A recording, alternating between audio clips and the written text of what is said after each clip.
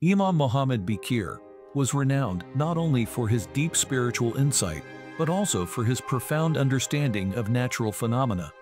His contributions to knowledge span various fields, including the study of nature, astronomy, and medicine. Among his fascinating teachings, the explanation of winds and clouds stands out as an example of how Islamic scholars integrated faith with science long before the advent of modern meteorology. Imam often spoke about the natural forces as manifestations of God's will and mercy. He described winds as one of God's greatest blessings.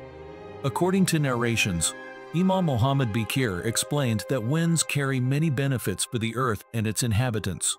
Winds move clouds, spread seeds, and refresh the atmosphere, making life on earth possible.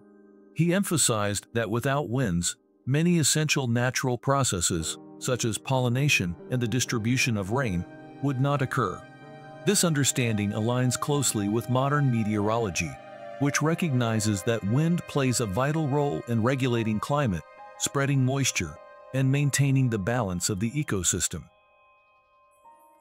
He also provided insightful commentary on clouds, describing them as carriers of rain and essential to life on Earth. He explained that clouds are moved by winds, which gather and condense water vapor. When clouds become heavy and full of water, they release rain to nourish the land.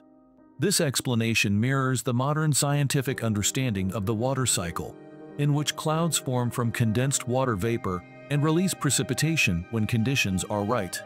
The Imam's words reflect an intricate understanding of how nature operates, linking divine wisdom with observable natural laws. The teachings of Imam reflect an Islamic approach that encourages seeking knowledge while acknowledging divine guidance in all things. His explanation of winds and clouds offers both a spiritual and practical understanding of natural processes, highlighting the belief that science and religion are not at odds, but rather complement each other.